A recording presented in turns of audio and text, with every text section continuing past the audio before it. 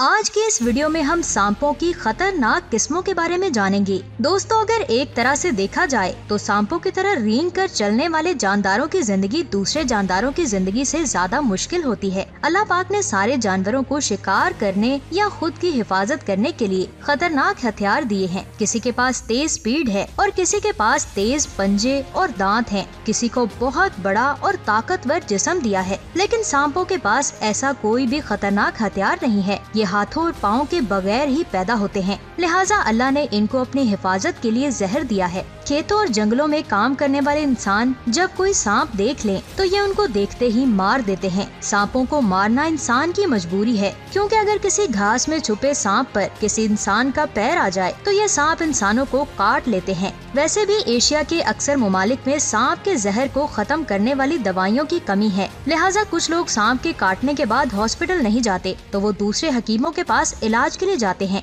जिनका ज़्यादा मकसद लोगों को लूटना होता है। यही वजह है कि एशिया के अक्सर ममालिक में बहुत से लोग सांपों का शिकार होते हैं। इंसानों के अलावा और भी जानवर सांपों के दुश्मन हैं और बहुत से परिंदे, जैसे बाज, उल्लू और मोर जब सांप देख लेते हैं तो उनको मार देते हैं इसके अलावा बिल्ली और बंदर भी सांपों के दुश्मन हैं। हनी बेजर और न्योला भी सांपों का खतरनाक दुश्मन है और ये दो जानवर तो शुरू से ही सांपों के दुश्मन हैं। इन पर तो सांप का जहर भी असर नहीं करता, यानी कि सांप काटने पर भी ये मरते नहीं हैं बस थोड़ी देर के लिए बेहोश ही होते हैं एक बात ये है कि सांपों की सारी किस्में जहरीली नहीं होती आप हैरान होंगे कि सांपों की 270 से भी ज़्यादा किस्में सिर्फ़ एशिया के अक्सर ममालिक में पाई जाती हैं, जिनमें से सिर्फ़ 60 किस्म के सांप ही जहरीले हैं। लेकिन हम उस किस्म के जहरीले सांपों के बारे में बात करेंगे जो इंसान की जान ले सकते हैं। और सांपों की ये खतरनाक किस्में आठ हैं। इस वीडियो में हम इन्हीं आठ किस्म के सांपों के बारे में बात करेंगे जो इंसान की जान ले सकते हैं। पहले नंबर पर कोबरा सांप की बात करते हैं। इसकी तीन किस्में हैं स्पेक्टिकल कोबरा मोनोकोल कोबरा और किंग कोबरा।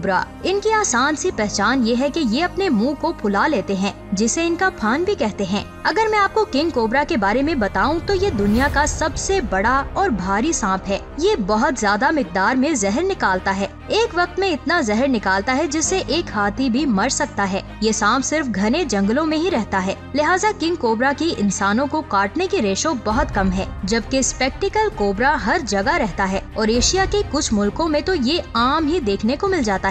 क्योंकि ये खेतों और जंगलों के अलावा आबादी वाले इलाकों में भी रहता है। ये सांप किंग कोबरा के मुकाबले में काफ़ी छोटा होता है और इनके फान के पीछे ऐनक की तरह का निशान भी होता है। इसी ऐनक के निशान की वजह से इसको स्पेक्टिकल कोबरा का नाम दिया गया है। हर जगह पर आम होने की वजह से इसकी इंसानों को काटने की रेशो भी ज़्यादा है, पर इसके काटने के बाद आपको इलाज करने के लिए कुछ घंटों का टाइम मिल जाता है और इस वक्त के दौरान मरीज़ का इलाज हो सकता है, जबकि दूसरी तरफ़ मोनोकाल कोबरा भी तकरीबन हर जगह पाया जाता है, पर यह स्पेक्टिकल कोबरा के मुकाबले में तादाद में कम है। लेकिन इनका साइज़ स्पेक्टिकल कोबरा के साइज़ के बराबर ही होता है और इसके फान के पीछे गोल तरह का निशान होता है। ये सांप जब फनकारता है तो अपनी फनकार के साथ जहर भी फेंक सकता है। ये सांप इंसानों से खतरे के वक्त हमला करने के बजाय सबसे पहले ये अपने फान से जहर फेंक कर उनको वार्निंग देता है। ये जहर जो वो फेंकता है, अगर आँखों में चला जाए तो कुछ वक्त के लिए नज़र आना बंद हो जाता है। इसके साथ साथ आँखों में जलन भी होती है और काटने पर यह स्पेक्टिकल कोबरा की तरह ही जानलेवा साबित होता है। अब बात करते हैं अगले जहरीले सांप की, जिसका नाम क्रिएट है। इसकी भी तकरीबन तीन किस्में हैं, जिनमें से बैंडेड क्रिएट सबसे लंबे होते हैं। इनका साइज़ कम से कम 10 फीट तक होता है। आप इस सांप के जिस्म के बारे में जानकर हैरान होंगे, क्योंकि सांपों का जिस्म गोल होता है। पर इस सांप का जिस्म गोल नहीं, बल्कि मुसल्लस की तरह का होता है, और इसके जिस्म पर काले और पीले रंग की रिबन नुमा चीज़ बनी होती है। ये बैंडेड क्रिएट जंगलों में ही रहते हैं। अगर ये सांप इंसान को काट ले तो मरीज़ को हॉस्पिटल पहुँचाने तक उसकी जान जाने के चांसेस बहुत ज़्यादा होते हैं। बर्मिस क्रेट इन सांपों की एक और बड़ी किस्म है। इस सांप को स्पॉटेड क्रेट या सप्लेडेड क्रेट भी कहा जाता है। ये बर्रे सगीर के शुमाली इलाकों में पाया जाता है और इनकी ज़्यादा से ज़्यादा लंबाई तीन इशारिया पाँच फीट तक होती है। इसके जिसम पर पीली पट्टियों या सफ़ेद पट्टियों के साथ काले रंग की पट्टियाँ बनी होती हैं। ये सांप इस कदर जहरीला होता है कि अगर इंसान को काट ले तो उसकी जान ले सकता है। ये सांप इंसानी आबादी से बहुत दूर छुप कर रहता है। इसी वजह से इसके इंसानों को काटने के केसेस बहुत कम हैं। अब हम क्रेट सांप की तीसरी किस्म की बात करते हैं, जिसका नाम कॉमन क्रेट है। ये सांप बहुत ज़्यादा जहरीला और खतरनाक है, लिहाजा इस सांप के बारे में जानना बहुत ज़रूरी है। कॉमन क्रेट को ब्लू क्रेट भी कहते हैं। ये तकरीबन पूरे बर्रे सगीर में पाया जाता है और ये सांप रात के वक्त बाहर निकलता है। ये अक्सर सोते हुए इंसानों को काट लेता है। देहातों में जो लोग ज़मीन पर सोते हैं, अक्सर इनके काटे जाने का शिकार बन जाते हैं। कुछ माहरीन के मुताबिक, अगर इस सांप के काटे जाने के बाद एक घंटे के अंदर मरीज़ का इलाज ना किया जाए तो उसकी जान जा सकती है। ये सांप काले रंग का होता है और इसका काला रंग हल्के से ब्लू रंग की तरह शाइन करता है। साथ में इसके पूरे जिसम पर व्हाइट कलर के रिंग बने होते हैं। हर रिंग का फासला इसके साइज़ के मुताबिक एक से डेढ़ फीट तक होता है। हम अब अगले सांप की बात करते हैं जिसका नाम वाइपर सांप है। इसकी भी बहुत सी किस्में होती हैं, जिनमें से सबसे ज़्यादा जहरीली किस्में एंडमन स्नेक और नेकोबार स्नेक है।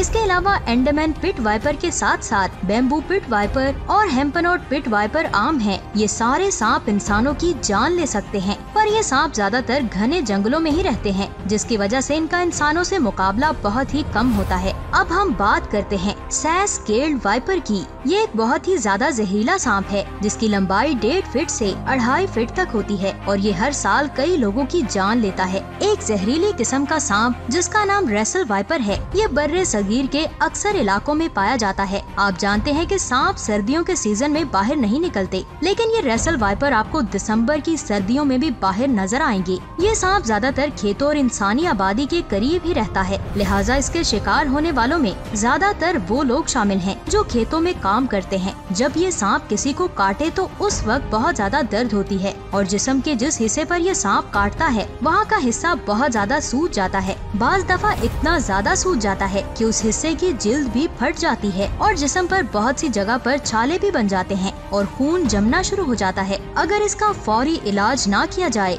तो उस इंसान की चंद ही घंटों में बहुत ही दर्दनाक मौत हो जाती है। क्या आप जानते हैं कि वाइपर सांपों का जहर होमोटॉक्सिक होता है? ये कोबरा और क्रेड के न्यूरोटॉक्सिक जहर के मुकाबले में अलग तरह से नुकसान पहुंचाता है। रेसल वाइपर के तेज होमोटॉक्सिक जहर की सबसे ज़्यादा खतरनाक बात ये है कि अगर इसके शिकार से इंसान बच भी जाए, पर जिस हाथ या पाँव पर सांप ने काटा हो, वो खराब हो जाता है, जिसकी वजह से डॉक्टर्स को वो हाथ या पाँव काटना पड़ता है। अगर हम रेसल वाइपर की पहचान की बात करें तो इसका रंग काला भूरा या गहरा भूरा होता है, जबकि इसकी बैक पर चेन की तरह के स्पॉट बने होते हैं। इसकी साइड्स पर भी ऐसे ही स्पॉट्स होते हैं, पर इनके दरमियान कुछ फासला होता है। रेसल वाइपर का मुँह चौड़ा और मुसल्लस की शक्ल का होता है। ये सांप काफ़ी भारी और मोटा होता है। इस वजह से लोग इसको जहर के बगैर वाला अजदहा समझते हैं। दोस्तों, अगर आपको वीडियो अच्छी लगी है तो नीचे कमेंट्स में ज़रूर बताएँ, ताकि हम आपके लिए इस तरह की इंटरेस्टिंग वीडियोस लाते रहें। साथ में वीडियो को लाइक करना और हमारे चैनल को सब्सक्राइब करना मत भूलें। शुक्रिया। अल्लाह हाफिज।